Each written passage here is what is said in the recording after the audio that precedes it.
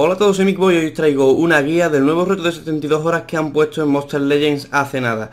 Normalmente la mayoría sabéis ya cómo va este tipo de reto porque no es algo nuevo que han puesto en el juego, es ya algo que, llevan poniendo bastante tiempo, pero como sé que hay gente que está empezando el juego de nuevo y que gente que incluso juega quizás esta guía mm, consiga aprender algo que no sabía, pues creo que puede venir bien el hacer la guía. Esto podéis tomarlo como una guía o como un capítulo. No lo pongo como capítulo porque realmente está más preparado, más editado con capítulo, así que creo que debería de llamarlo guía del reto de 72 horas, cómo desbloquear fichas o cómo desbloquear todos los monstruos. Creo que viene siendo un título mejor para este vídeo. Pero que no os asustéis con el vídeo porque es como si fuera un capítulo básicamente.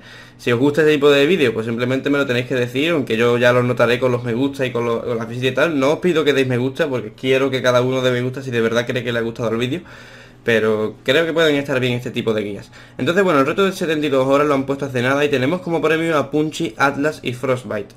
Tres monstruos que, por ejemplo, Atlas está bastante bien y Frostbite la verdad es que no lo he probado mucho, pero mm, no va a venir nada mal conseguirlo. Mi objetivo en esta isla va a ser conseguir sobre todo a Frostbite.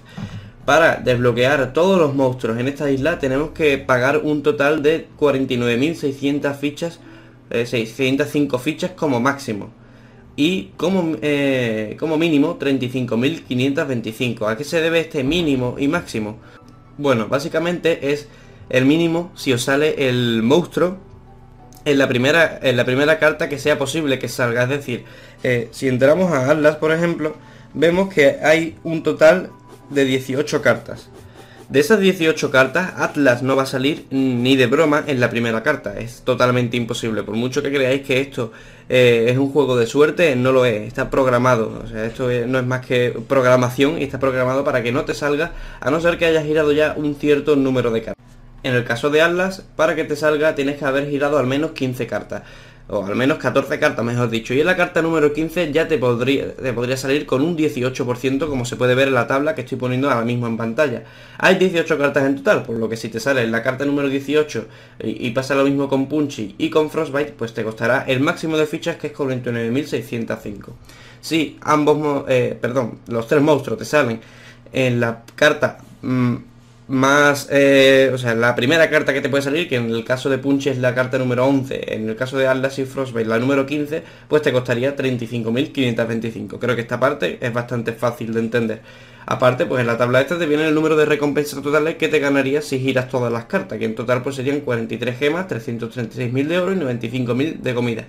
Lo cual está muy bien si os conseguís todo, porque por 49.000 fichas que se pueden conseguir perfectamente jugando sin pagar gemas, porque en esta guía, o sea, la opción de mm, conseguir fichas pagando gemas la descartamos, es algo que no queremos utilizar.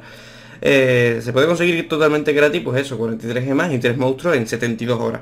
Ahora vamos a lo realmente importante, cómo se consiguen las fichas. Básicamente hay cuatro formas de conseguir fichas. Vamos con la primera, recaudar oro. Según el nivel en el que estemos, estamos categorizados por niveles. Yo, por ejemplo, estaría en la categoría de 90 o más, como fijáis, estoy en nivel 92, así que estaría en la última categoría. Pues según la categoría de nivel, eh, tendremos que recoger una cierta cantidad de oro para que nos den una ficha. Eh, esto no hay que llevárselo al pie de la letra ni nada. O sea, a ver, si son 45.000 de oro, yo me vengo a un hábitat, recojo el oro que sea y simplemente pues me irán dando oro. No tened en cuenta cuánto estáis recogiendo ni que se os están timando si nada de eso, pues simplemente vais a recoger el oro y una vez que está todo el oro recogido, yo recomendaría eh, irse a un hábitat que no tiene todo el oro y simplemente darle a recordar varias veces para, por si acaso mm, no te han dado fichas que te tengan que dar, que te las den en ese momento. En este caso, pues me la han ido dando sobre la marcha. Pero mira, como habéis visto ahí, pues me han dado 24 monedas que no han sido de recaudar por 7, eh, de oro. Eso es imposible. esas 24 fichas que me han dado, te la dan por haber recaudado todo lo demás, sino que se te guarda en el registro y una vez que has conseguido una cierta cantidad de oro y se reinicia después con una cantidad más pequeña, te dan la ficha. Es algo difícil de entender, pero básicamente lo que tenéis que hacer es recoger todo el oro y después darle a un hábitat varias veces recordar para que te den la cantidad que realmente tendrían que haberte dado en total. La segunda forma de conseguir fichas es la mejor de todas y es con comida. Según la categoría que estoy yo, como he dicho es la última, de 90 para arriba, por cada 2700 de comida te dan unas fichas. Eh, una ficha en singular.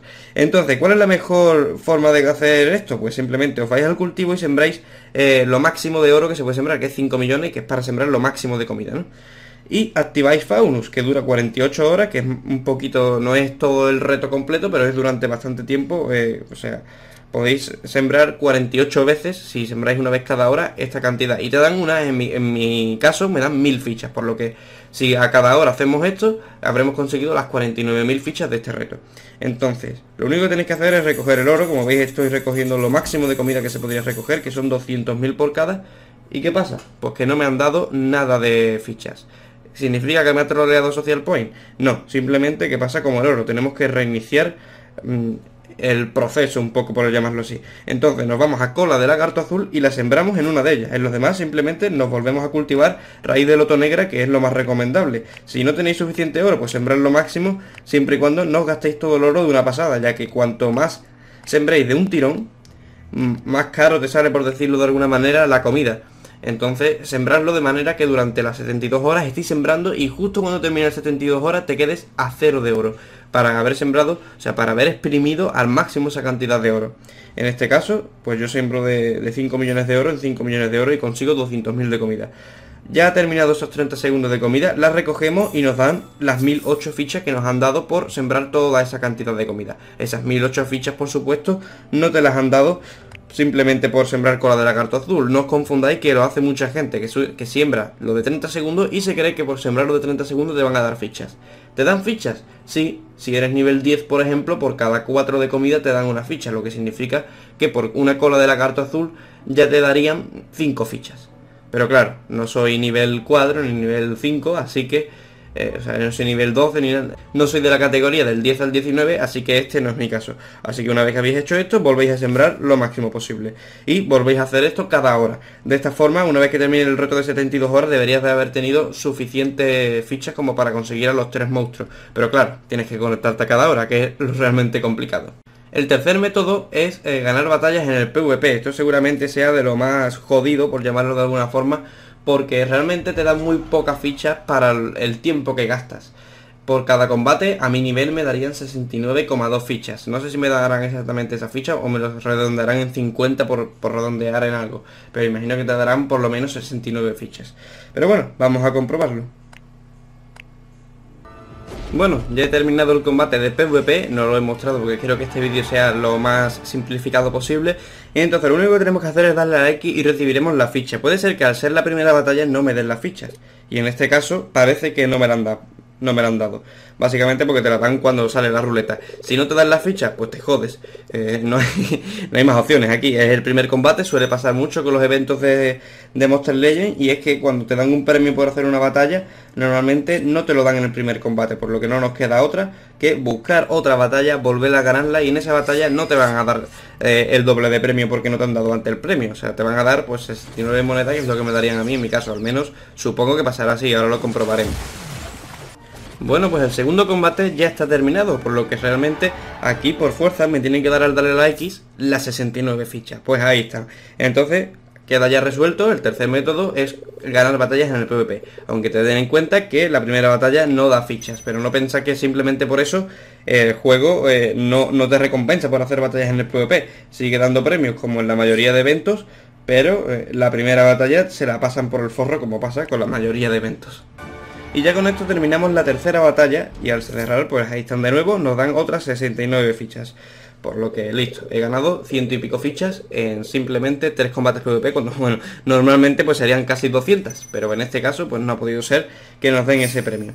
Ya por último, la última forma que hay de conseguir monedas es apareando. Simplemente te lo dan por aparear, no por eclosionar huevos. Tened eso bastante en cuenta. Da igual los huevos que eclosionéis, podéis venir aquí, dasla a vender, dasla a eclosionar, que no os van a dar fichas, simplemente os lo dan por cruzar.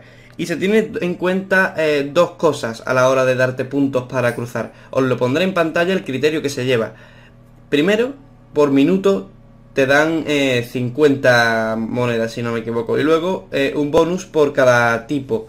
Eh, es decir, si, te si sale un común del huevo, si lo que has apareado ha resultado ser un común, te, te dan 125 puntitos más de breeding.